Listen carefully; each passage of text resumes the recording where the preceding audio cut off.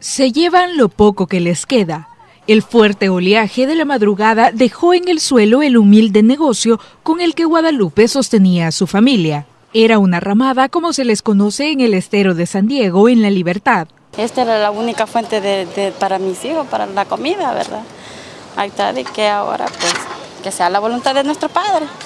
Aquí he invertido casi 900 dólares en material, en madera, pues por muy simple que se vea, pero el gasto el que yo tengo. Otras familias que también viven del turismo en la zona, ante el riesgo de inundación, optaron por desmantelar las ramadas. Esperan salvar un poco de lo invertido y que la situación climática mejore para emprender nuevamente con sus negocios.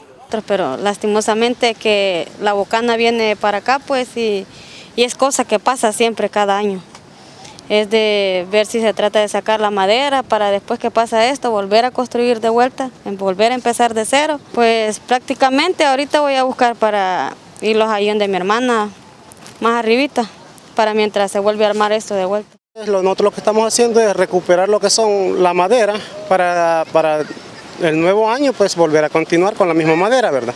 No podemos dejar que se nos vaya todo ese material, porque acuerde que las personas de acá pues somos de bajos recursos, ¿verdad? No tenemos aquel dineral para volver a construir desde el principio. En la zona costera del puerto de la Libertad no se han reportado inundaciones. Según miembros de Protección Civil Municipal, la pronta acción de la comuna ha logrado evitar desgracias, aunque ya se han anticipado a preparar albergues.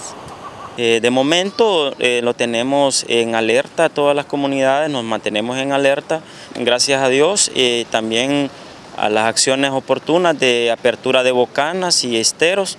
Los ríos de la zona han aumentado su cauce, por ello están siendo constantemente monitoreados para emitir una alerta temprana y evitar desastres. Con imágenes de Ever Ábalos, Tatiana Funes, Noticiero Hechos.